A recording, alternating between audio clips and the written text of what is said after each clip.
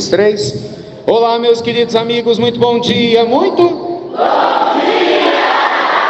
Muito bom dia, muito bom dia para todos vocês. Começando com muito amor e carinho, mais uma pílula inspiradora do bem, vocês estão vendo, diferente dessa vibe maravilhosa, segunda-feira, início de maratona, gente. Início de semana, se você vai escutar daqui a pouco, 6h40 da manhã, estou meditando comigo, hoje à noite.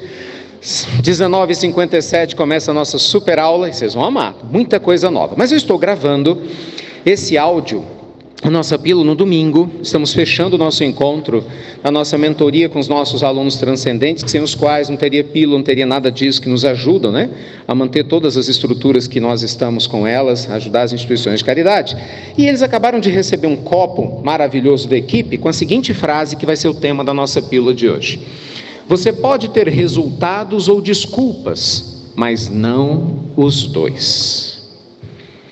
Ah, gente, quantas vezes na vida você andou inventando desculpas, eu andei inventando as minhas e a gente não saiu do lugar.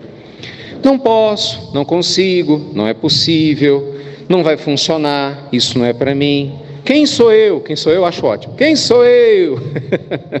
é, tô velho, tô jovem. É impressionante como o ser humano é especialista em inventar desculpa, né? Tudo vira desculpa na mente de quem quer ver o copo meio vazio. Tudo é motivo.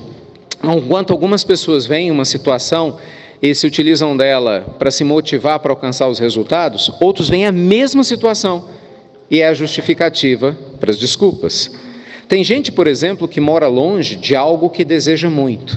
E curiosamente, essa pessoa se motiva ainda mais porque fala: eu vou conseguir chegar onde eu quero porque eu moro longe e eu vou valorizar a minha conquista. E aí tem gente que fala: eu moro muito longe, então vou desistir porque é longe. É engraçado isso, né?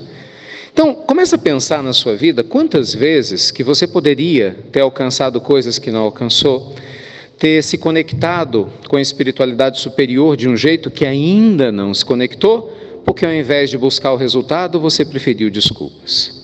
Desculpa para continuar com as mágoas no coração, desculpa para justificar por que não melhora a ansiedade, desculpa para desistir de você, de outras pessoas, dos seus projetos de vida.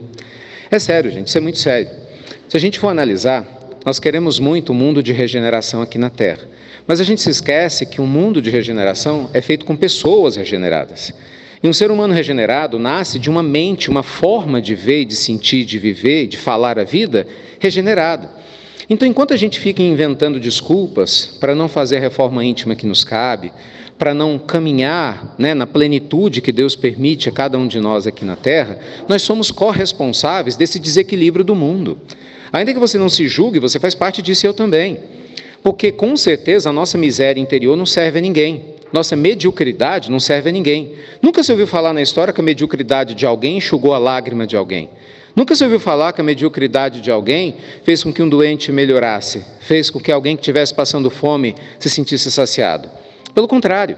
Então, quando a gente se né, aceita, quando a gente acaba aceitando essa mediocridade, quase que não sai. a gente se mediocriza, quase que não sai. e aí a gente se diminui, esquece da nossa semente divina. Sabe, você esquece quem é você. Não foi o Cristo que falou: deixai brilhar a vossa luz? Não foi ninguém, foi o Cristo. Se você não concorda, é o que eu sempre falo com o pessoal aqui: evolua, encontre Jesus e Deus e brigue com eles, porque o ensinamento vem deles. Deixai brilhar a vossa luz, porque eu e você temos luz que por algum motivo não brilha. Por algum motivo a gente coloca, parece um tapume, tem uma resistência enorme de achar, eu não mereço, eu não dou conta, eu não consigo. E sei lá o que, é que você fez de besteira no passado, porque todos nós fizemos. Mas pensa, se Deus quer Deus, nos dá misericórdia do recomeço, de reiniciar cada dia, por que, que justamente você e eu vamos ficar duvidando disso e abraçar desculpas? Então cuidado, o tempo está passando.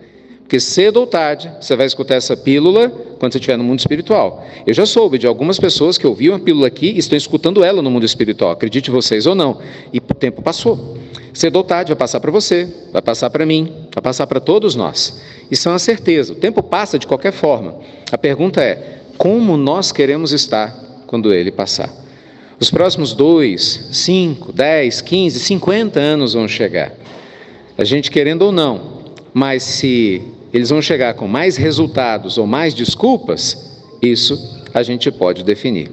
Então, que Deus abençoe seu dia, ilumine seu coração, sua família, seus projetos, sua conexão com o divino, com o sagrado, com Deus, com tudo que é mais lindo na sua vida.